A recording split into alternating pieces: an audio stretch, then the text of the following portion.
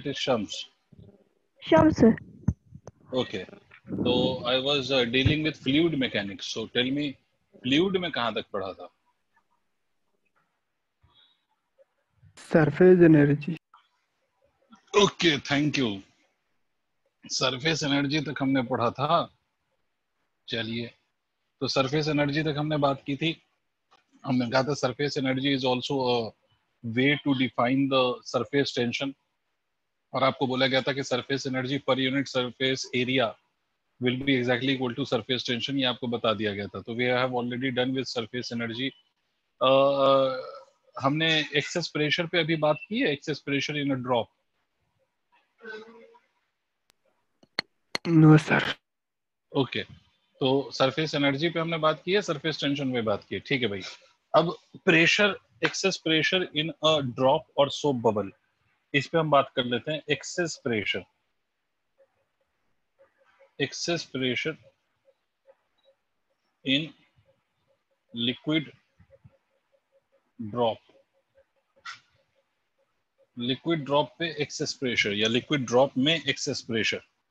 तो liquid drop में excess pressure पहली बात तो होता क्यों है और उसकी वैल्यू क्या होगी वो हम अभी फाइंड करेंगे, बट होता क्यों है? पहले इस बात को समझो।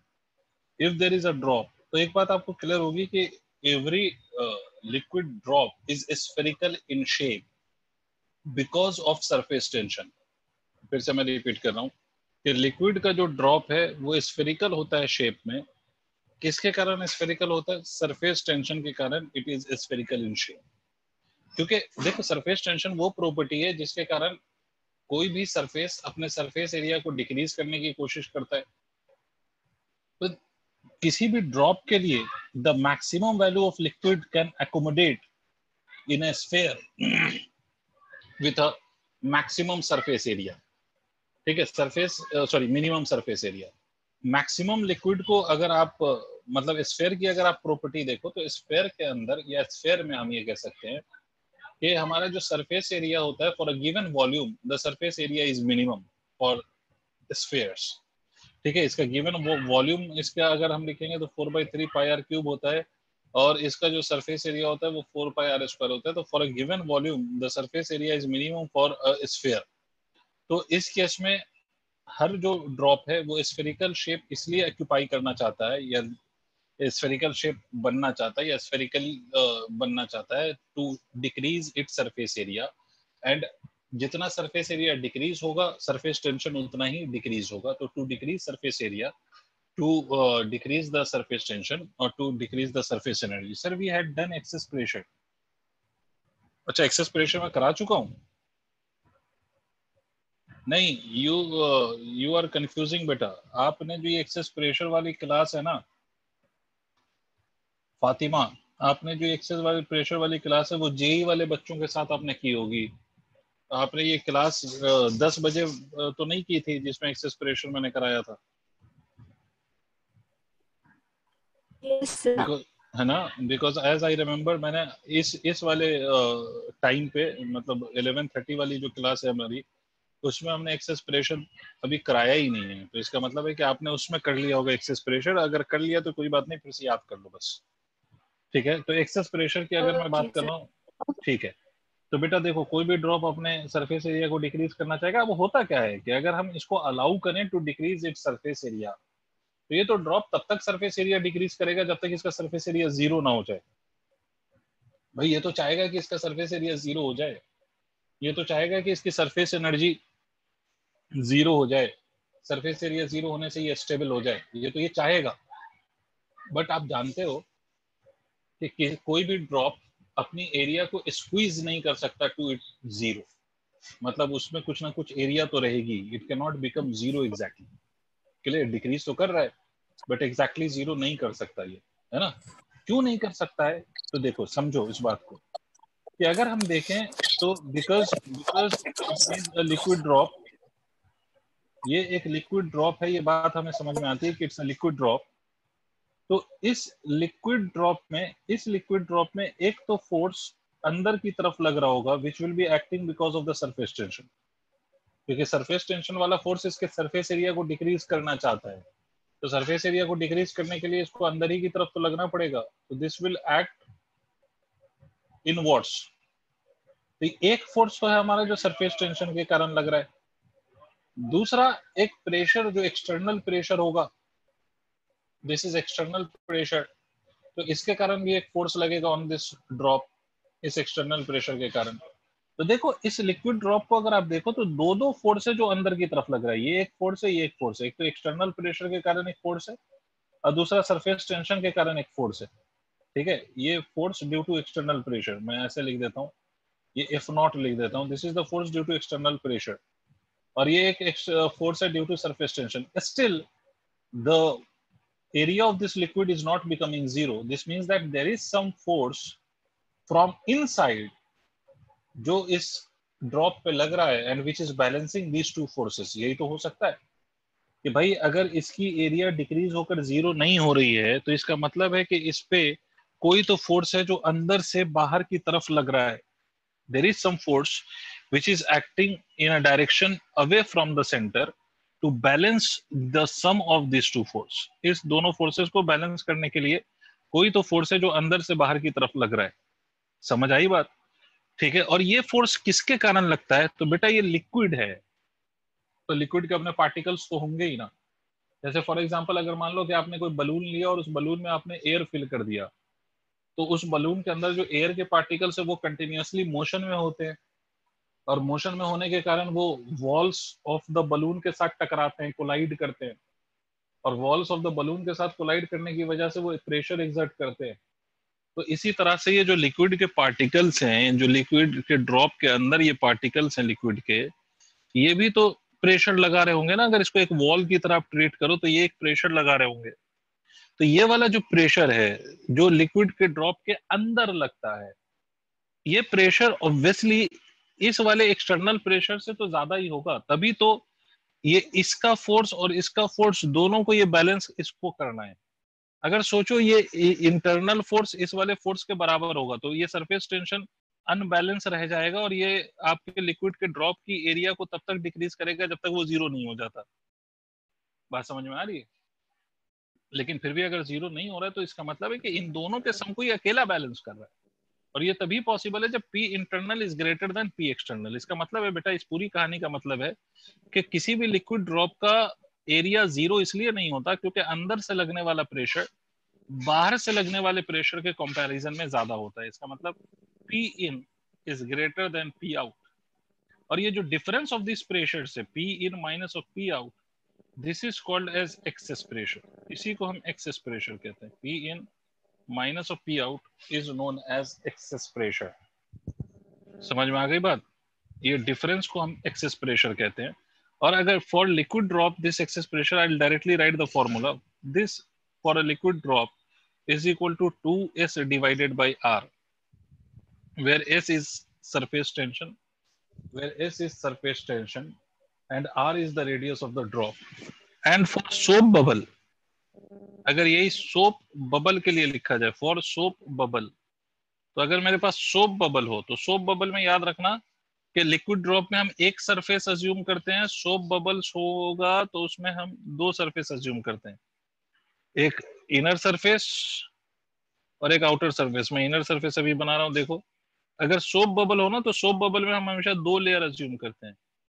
लिक्विड के ड्रॉप में हम एक लेयर अज्यूम करते हैं सोप बबल में हम दो लेयर अज्यूम करते हैं, but both the layers are very close to each other so inner and outer radius can be assumed as capital r only. But इस केस में अगर हम एक्सेस प्रेशर का फॉर्मूला लिखें तो P excess will be equal to four S divided by R जो excess pressure का formula यहाँ पर आएगा this is equal to four S divided by R वैसे याद रखो, वैसे आवाज़ नहीं आ रही है। तो एक मिनट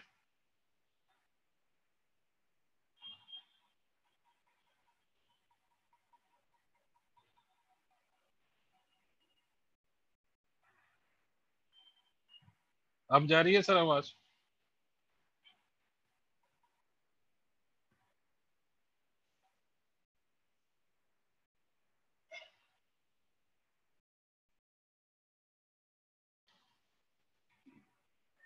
आवाज़ जा रही है अब?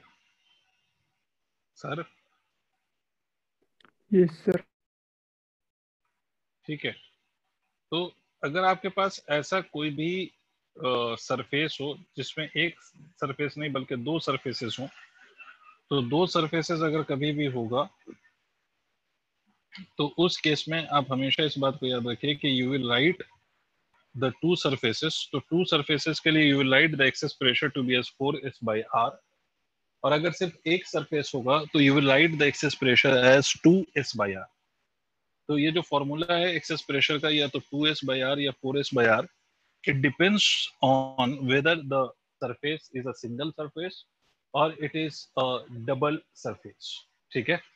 अब इस बात को देखिए कि अब इस केस में फर्दर ये तो हमें प्रेशर एक्सेस प्रेशर का फॉर्मूला पता चल गया। तो मैं एक दो क्वेश्चन कराता हूँ, इससे रिलेटेड एक्सेस प्रेशर को यूज़ करके। ठीक है? दो तीन क्वेश्चन कर लो एक्सेस प्रेशर ये इंपॉर्टेंट फॉर्मूला याद रखिएगा एक्सेस प्रेशर का फॉर्मूला एक क्वेश्चन ये है बेटा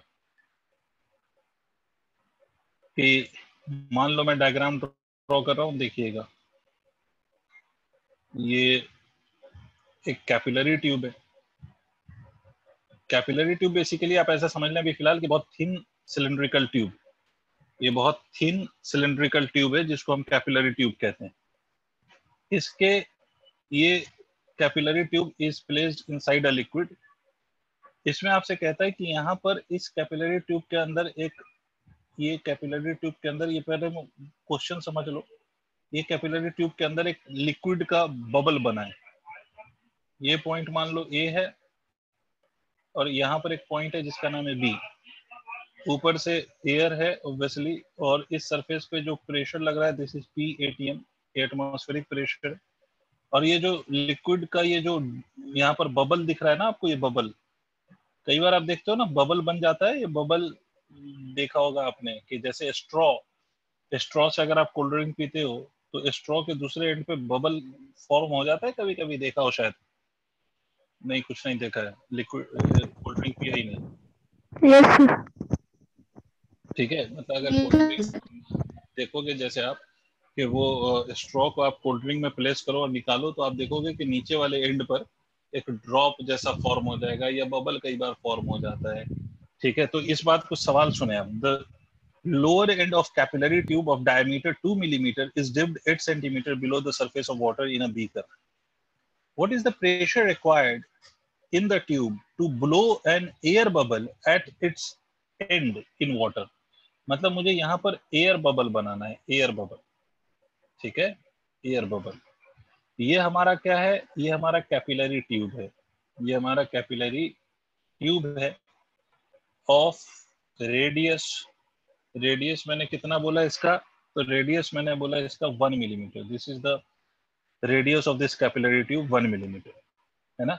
आपको इस क्वेश्चन में कुछ चीज़ें गिवन है कि सरफेस टेंशन की जो वैल्यू है that is equal to 73 into ten to the power minus three newton पर मीटर स्क्वायर और एटमॉस्फेरिक प्रेशर की जो वैल्यू आपने लेनी है, वो है ten to the power five pascal.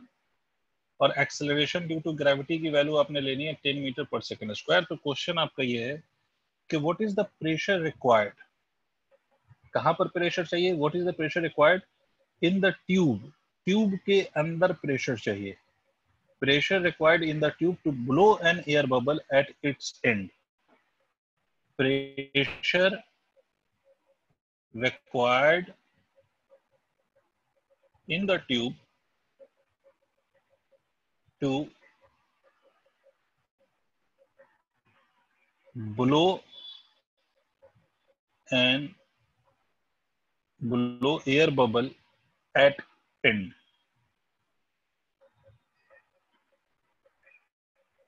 At its end, in water. Air bubble आपको ब्लो करना है, पानी के अंदर एंड ऑफ़ द ट्यूब पर क्वेश्चन नोट करो, मैं सॉल्व करूँगा क्वेश्चन नोट करो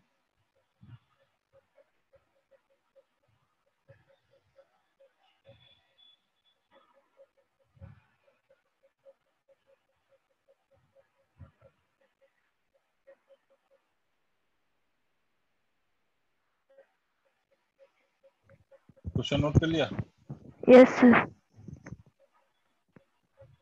क्वेश्चन आप लोग जल्दी नोट करो तो मैं सॉल्व करूँगा इसको.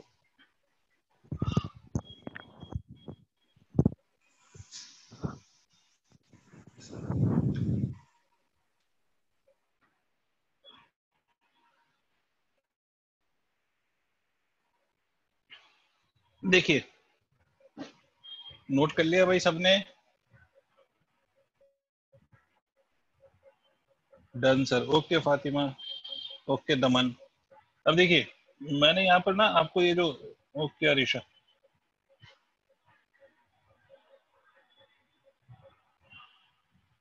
मैंने यहाँ पर अगर आप ध्यान से देखें तो मैंने आपको यहाँ पर ये जो सोप सॉरी ये जो एयर बबल दिखाया है, इस पे मैंने दो पॉइंट्स कंसीडर करें one point is inside this bubble and the another point is outside the bubble and inside the liquid एक पॉइंट हमने इस बबल के अंदर लिया है और दूसरा पॉइंट हमने आउटसाइड दिस बबल लिया है इनसाइड द लिक्विड लिक्विड के अंदर लिया है बट आउटसाइड द बबल तो हमें ये पता है कि अगर हम कोई भी बबल लेते हैं या कोई भी हम ड्रॉप लेते हैं और अंदर एक पॉइंट कंसीडर कर लें और एक पॉइंट बाहर कंसीडर कर लें तो अंदर वाला प्रेशर बाहर वाले प्रेशर से ज़्यादा होता है। और यही जो डिफरेंस ऑफ़ प्रेशर है, इसको हम एक्सेस ऑफ़ प्रेशर कहते हैं। मतलब हम ये कह सकते हैं कि P A minus P B that is the difference of the two pressure which is called as excess pressure that can be written as 2 into surface tension divided by the radius of the bubble. तो अगर हमें ए निकालना है ए ठीक है? मतलब ये pressure कितना होगा? What should be the pressure inside the bubble bubble के अंदर प्रेशर या ट्यूब के अंदर प्रेशर एक ही बात है। तो अगर हम प्रेशर लिखना चाहते हैं तो प्रेशर क्या होगा? Two S by R plus of एक तो प्रेशर है जो बाहर है पी बी ठीक है? बात मेरी समझ में आ रही है आप लोगों को? Yes प्रेशर लिखोगे ना? तो एक बात बताओ कि pressure at A will be written as equal to two S by R what will be the pressure at this point? B is just outside this just outside this bubble. तो pressure just outside the bubble कितना होगा? तो देखो एक इस बात को समझो। हाँ एक तो इस लिक्विड पे एटमॉस्फेरिक प्रेशर लग रहा है साथ साथ एक हाइट के कारण भी तो प्रेशर होगा एट दिस पॉइंट बी मतलब ये जो प्रेशर होगा this will be atmospheric pressure plus of rho multiplied by g into h yes very good Zehra तो rho multiplied by g into h because इस पॉइंट पे जो pressure है that will be the sum of atmospheric pressure and pressure due to the height तो हमारा जो P A है pressure inside this this must be equal to the sum of these all values अब आपको सारी values given है, आपको S की वैल्यू गिवन है है ना? एस की वैल्यू गिवन है two into seventy three into ten to the power minus three divided by radius radius आपको वन मिलीमीटर गिवन है तो इसको मीटर में कन्वर्ट करो ten to the power minus three हो जाएगा। प्लस ऑफ़ एटमॉस्फेरिक प्रेशर आपको ten to the power five pascal given है। Plus of rho g h तो रो की वैल्यू आपको वाटर बोला है तो वाटर के लिए तो रो की वैल्यू वन हो गई। मल्टीप्लाइड बाय वन का मतलब ten to the power three होगा because K G per meter cube में लूँगा, क्योंकि सारी यूनिट्स एसआई यूनिट में गिवन है। समझ रहे हो? तो वाटर के लिए ten to the power three ये रो की वैल्यू हो गई जी की value ten multiplied by H देख लो एक बार। एच इस सेंटीमीटर में तो एच को भी I have to write it in metres तो एच की वैल्यू होगी पॉइंट एट मीटर पहले देख लो ये इक्वेशन समझ आई या नहीं आई? आंसर तो आ ही जाएगा। हो गया?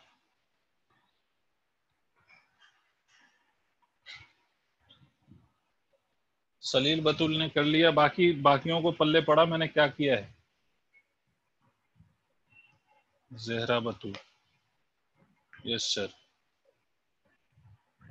Fatima Batool. ठीक है?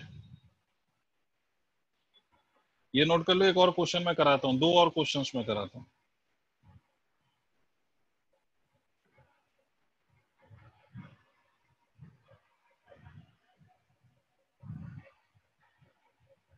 दमन, देखो, मुझे पूछा है कि, इस क्वेश्चन में पूछा है कि व्हाट शुड बी अच्छा ठीक है, कोई नहीं दमन मैं दोबारा बता रहा हूँ। What is the pressure required in the tube to blow an air bubble मतलब ट्यूब के अंदर what should be the value of pressure और what should be the requirement of the pressure ताकि मैं इस ट्यूब के बाहर एक ट्यूब के एंड पर एक क्या ब्लो कर सकूँ तो एयर बबल ब्लो कर सकूँ। ठीक है, ये बात ऐसा ही है कि जैसे फॉर एग्जांपल एक बलून ले लो, उस बलून को अगर ब्लो करना है आपने तो उसको ब्लो करने के लिए मान लो कि उसका ब्लो करके उसके रेडियस को हमें आर करना है तो उसके रेडियस को अगर हमें आर करना है तो हमें कितना प्रेशर लगाना पड़ेगा? या हमें कितना उसमें एयर फिल करना पड़ेगा? कितने प्रेशर से ताकि उसका रेडियस बढ़ के आर हो जाए? मान लो ऐसा अगर सवाल है। तो एक बात तो ऑब्वियस है कि सर ये जो बबल है, इसको हमें फॉर्म करना है इस एंड पर। तो हमसे कहता है कि हमें कितना प्रेशर लगाना पड़ेगा? तो देखो, हमें उतना ही प्रेशर लगाना पड़ेगा जितना बड़ा हमें बबल बनाना है। मान लो ये बबल हमें इस इस रेडियस का बनाना है। तो अंदर का प्रेशर अगर हम बात करें, इस ट्यूब के अंदर उतना ही प्रेशर होगा जितना हम इस बबल के अंदर प्रेशर लाएँगे। मेरी बात समझो, तभी तो इसका रेडियस इतना इंक्रीज हो पाएगा।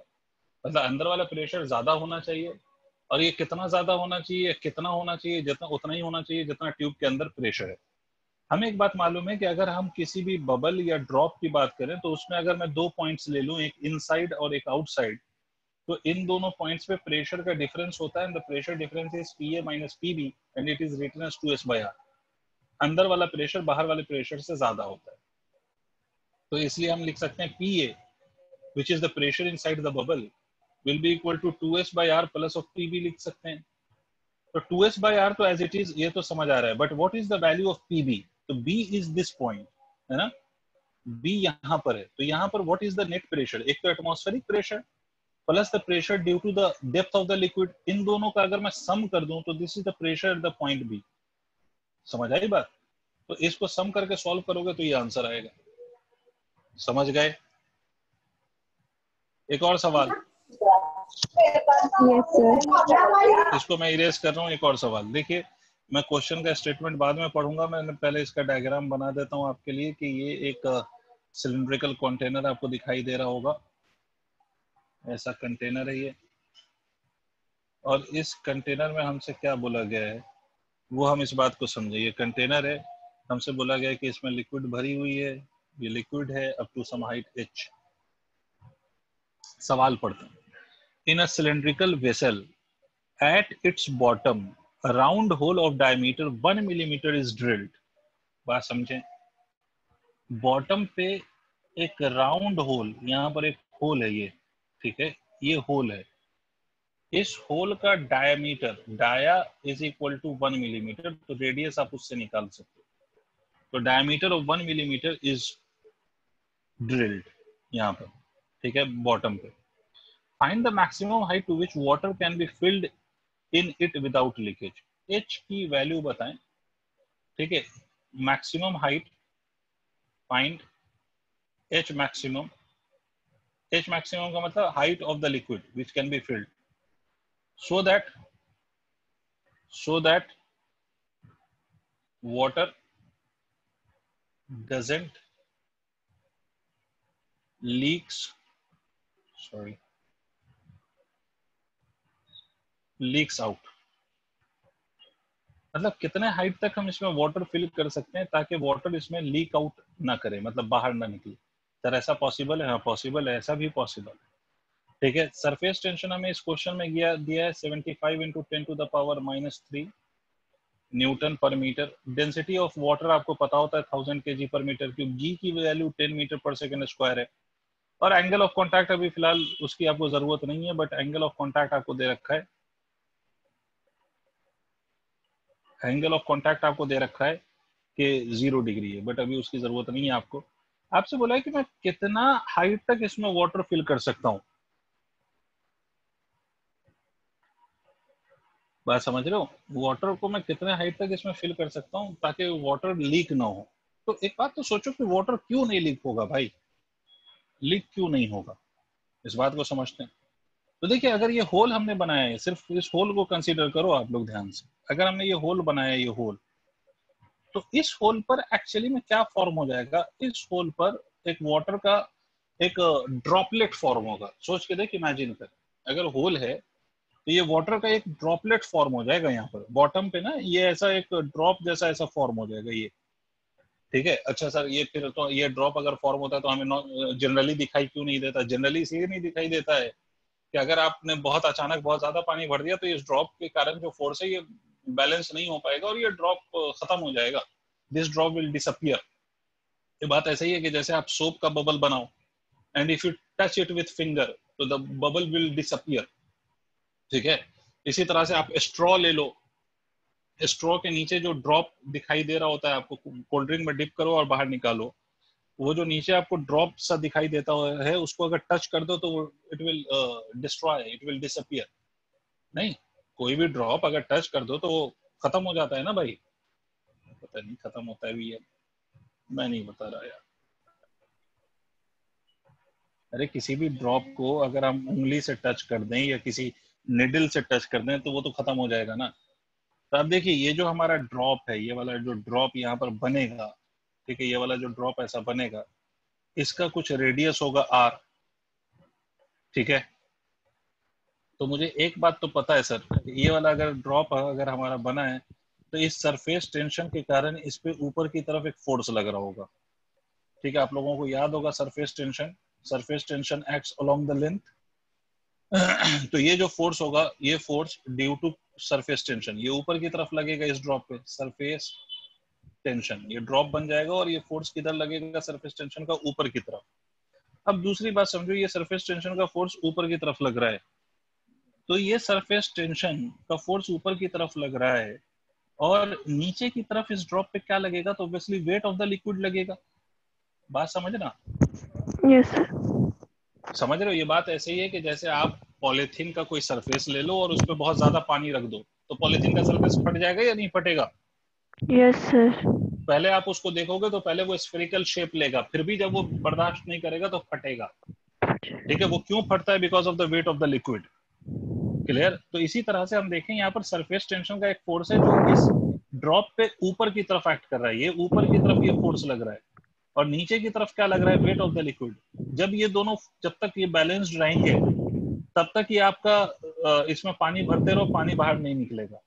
जैसे ही ये दोनों बैलेंस नहीं होंगे मान लो वेट ज़्यादा हो गया तो ये जो नीचे वाला सरफेस है that will disappear that will destroy और नीचे वाला सरफेस जैसे ही डिस्ट्रॉय हुआ तो अब ये पानी बाहर निकलने लगेगा। अरे समझ आई बात? जी सर। ठीक है अगर सबको समझ में आ गई तो मेरी बात सुनिए अब। ध्यान पूर्वक सुनिएगा अगर आप लोग ध्यान पूर्वक सुन पाए तो। ठीक है अब देखिए पहली बात तो हमसे बोला गया कि भाई, ये जो फोर्स है सरफेस टेंशन का तो सरफेस टेंशन का फोर्स मैं लिख सकता हूँ two pi multiplied by r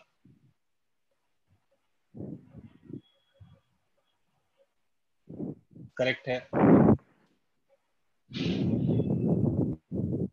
नहीं आया सरफेस टेंशन का फोर्स मैं क्या लिख सकता हूँ? Surface tension multiplied by the length लिख सकता हूँ ना बेटा?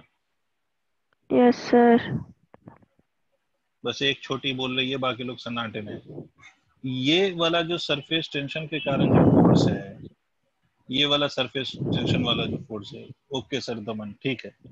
दिस फोर्स मैक्सिमम हम किसके बराबर कर सकते हैं? तो this can be equal to the weight of the liquid और वेट ऑफ़ द लिक्विड कितना लिखा जाएगा? तो वेट ऑफ़ द लिक्विड देखो। वेट ऑफ़ द लिक्विड को अगर हम लिखेंगे यहाँ पर तो ये कितना होगा, बताओ? Density multiplied by volume multiplied by g लिख सकता हूँ? यस क्लियर है? ठीक है। तो यहाँ ध्यान से देखो S into two pi r density obviously of the liquid liquid कौन है हमारा? वाटर है यहाँ पर तो लिख दिया। वॉल्यूम इसका अगर हम लिखेंगे तो वॉल्यूम हम लिख सकते हैं pi r square multiplied by height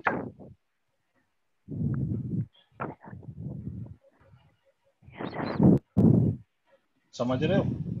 पाई से पाई कैंसिल एक आर से एक आर कैंसिल तो हमारे जो h की वैल्यू आएगी वो क्या आएगी? H की वैल्यू आएगी two S divided by rho ये g मैंने छोड़ दिया है rho g multiplied by what multiplied by r अब इसमें सबकी वैल्यू आपको गिवन है कि आप पुट करके आंसर नहीं निकाल सकते आप।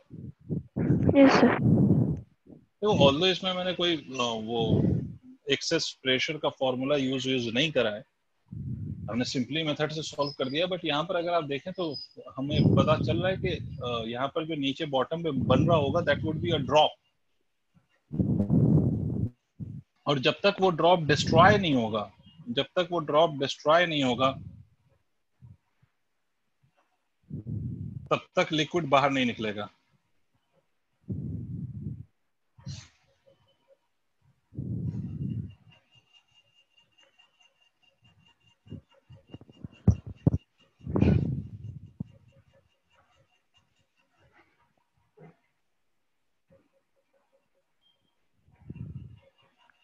अरे नोट कर लिया सर आपने।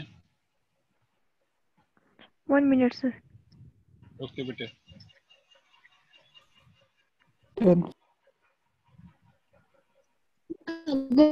ये ड्रॉप या हम इस ड्रॉप का एक्सेस वाला फॉर्म नहीं निकाल सकते तुम्हारी आवाज़ बहुत ज़्यादा ब्रेक हुई है। तो मैं नहीं सुन पाया। अगर ये ड्रॉप है हम इस पे वाला हाँ एक्सेस एक्सेस प्रेशर के एक्सेस हाँ लगा सकते हैं। एक्सेस प्रेशर भी लगा के हम सॉल्व कर सकते हैं। तो फिर हम वो पूरा एक्सेस प्रेशर का फॉर्मूला लिखेंगे और उसको बैलेंस करेंगे हम। तो एक्सेस प्रेशर का फॉर्मूला लिख के फिर उससे हम फोर्स एक्सेस प्रेशर को मल्टीप्लाई करेंगे एरिया से तो फोर्स आएगा। और फोर्स को फिर हम वेट से इक्वेट करेंगे। तो हमारा जो क्योंकि फोर्स और वेट प्रेशर तो वेट से इक्वेट नहीं होगा। तो प्रेशर से हम पहले फोर्स निकालेंगे उसके बाद उसको हम किससे इक्वेट करेंगे? वेट से। तो हमें जाके उसका आंसर पता चलेगा। ठीक है वो भी हम कर सकते हैं। वो भी हम मेथड लगा सकते हैं। सिंपल सा पॉइंट ये है बेटा कि जो ऊपर फोर्सेस हैं और नीचे फोर्सेस हैं they must be balanced to each समझे आप? ठीक है बेटा। तो चूँकि आज बहुत समय फिर से हमारा बेकार चला गया। तो आपका अभी टाइम हो गया because as I another class also तो मुझे अभी ये एंड करना पड़ेगा। पर चूँकि आपका टाइम बहुत खराब हुआ है तो इस वाले को हम कंपनसेट करेंगे। मैं आपको आपको इन्फॉर्म करवा दूँगा कि कब इसको कंपनसेट करना है। ठीक है? तो आज अभी Okay, फ़िलहाल लेकिन इतना रहना ठीक है? ठीक है? Okay okay sir thank you.